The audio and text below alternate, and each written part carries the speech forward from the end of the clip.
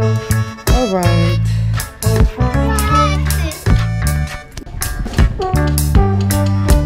Yung baklas na yung motor ni Moto Joe.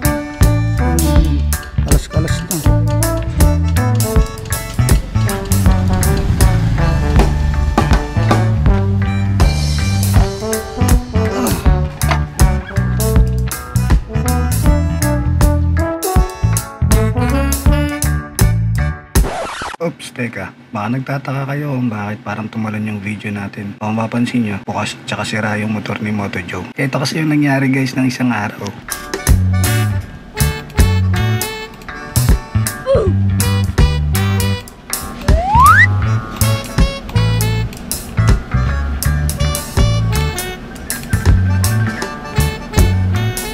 Hmm, natawag si Moto Joe.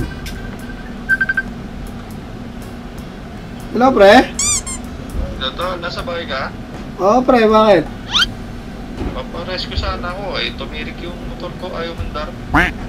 Ah, tutulak ba natin? Oo, kailangan eh. Nandito lang ako sa ano, labas ng ano na, PS Cruise. Okay, sige. Ah, base na ako, pre. Salamat. Okay.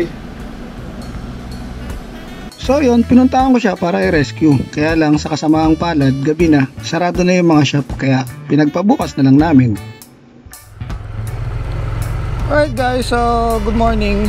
At ah, babalikan na natin today yung motor ni Moto Joe doon sa shop. So kanina, iniwan ko lang siya doon para balikan yung camera sa bahay. At ah, gusto ko rin siyang i-vlog at ipakita sa inyo kung ano nga ba yung naging problema doon sa motor ni Moto Joe. No? Baka magkaroon kayo ng idea lalo sa mga Miu users, oh, yung mga nasisiraan dyan at uh, tumitirik. So, ito yung problema talaga ng motor ni Moto Joe. Ah, alamin natin doon sa shop na pinagdalan ko. No? So, punta tayo dun ngayon. Alright guys.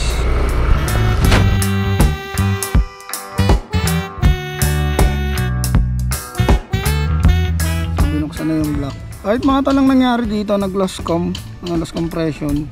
Kaya ayaw mag-start. So, pina-check natin dito kay Tutoy. Si tropa ang gumagawa. Ayan. Shoutout tol. sa mga nakamiyo na nagka-problema pag ayaw mag-start. Lalo sa mga may edad na. Mabot na ng itong motor ni Moto Jo, ano na to eh, 3 years. Magti 3 years. So nagbara na daw yata yung barbola. May kumalang na. Kaya ayaw mag-start. Mamaya mga tol, alamin natin kung ano yung mga reason Ah, kung paano nyo malalaman na loss compression na yung nangyari sa motor nyo no? May nabakbak dito, tapos Tapos kumalang, kumalang sa barbula. dito. wala na. Wala na, lost compression na siya. kahit mga utol so ito talaga yung problema na itong motor ni Moto Joe kaya ayaw umandar. Ito yun. So baka nakalangan na to ng, ano, ng carbon. Ayan, makita nyo yung sunog na yan. Kailangan malinis yan eh pagka may bumara dito kahit gabuok lang wala na singaw na. Ayan. yung mga nababakbak daw kasi dito sabi ni tropa yung mga nababakbak dito sa piston minsan na kumakalang dito. So yun yung magiging cause kung bakit nahirapan ng mag start yung motor nyo. Tsaka hindi na talaga gagana. Bruh. Naka- nakawan lang natin ng gasolina Unleaded pala yung ginagamit niya, green. Sa lilinisin lang namin itong mga udan. Natanggalin yung mga carbon na, na, na nandi dito. Tsaka baka may bumar din dyan. Yan guys, Ayan mga talo. Ayan, may tagas na. Dapat pa pag binuhusan mo dyan, walang hindi yan tatagas. Ayan, dapat hindi siya sisingaw. Missing ang compression niya dyan. Ayan, so ibig sabihin yan, nung binuhusan, lababas na yung gasolina dito. May singaw na siya. Kaya pumupugak-pugak na yung motor niya no, ni Moto Joe. Dahil doon. So yan nilinisin lang yan. Tatanggalin yung mga nakabara dito sa gilid na to. May epekto kaya ang ano dyan? Yung gasolina na kinakarga mo. Ayun nga yung ano. Unleaded. Masa yung makarbo ng unleaded. Mas, mas makarbo ng unleaded. Oo. Oo, yung pala yun. Parang may latak-latak yung unleaded, no? Yun nga yung sinasabi dati ng mga ano. Pagka unleaded gamit mo, no? So yun, may epekto rin pala sa gasolina yun na kinakarga. Yung uling. Yung kapal na. Masaya lang kasi yan eh, no? Pagka ano, mabaraan lang ng konti, wala na. Wala na. Lost com na siya. Mararamdaman mo ba yun pagka ano, bago mabaraan yan, kung anong nangyayari sa motor? Oh, kung ano na siya, balyado. Ano naman yan eh, FI naman yun. Ang pinanglilinis dyan par, gasolina lang talaga. Gasolina lang. Ah, makikita nyo, mga utol pumuputi na.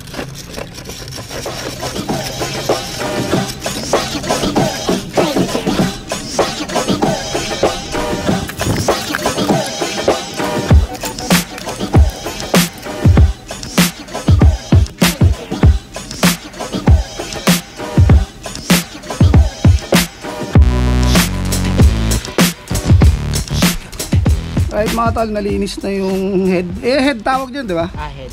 Yan, nalinis na yung head ka yung valvula niya. Check natin kung check na lang. Oh, check natin kung may tagas pa. Yan, so makikita niyo yan, wala nang tumatagas. Yan, normal na yan. Wala na siya. Hindi na yung katulad kanina. Hmm, kanina ano eh. Tagas talaga eh.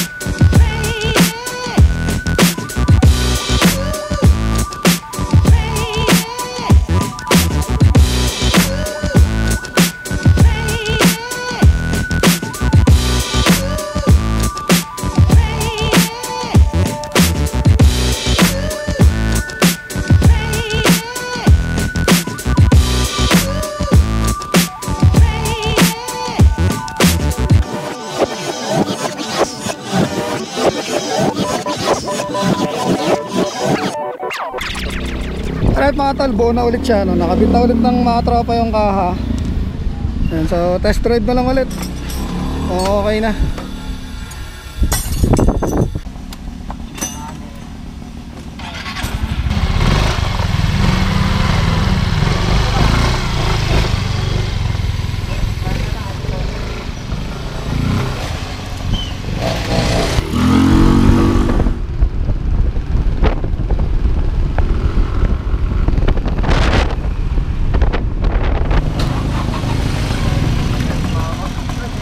Alright mga tol, so okay na yung motor ni Moto Joe na pagawa na natin. And dito nga pala natin to pinagawa kay ah, Toots Speedwork. So sa mga gusto magpagawa ng motor, ah, flex ko lang yung shop nila. Ito yung shop na specialties talaga nila yung magkalikot ng mga makina. No? Tapos ah, nagkakarga rin sila rito. Di ba parang nagkakarga rin kayo ng mga motor?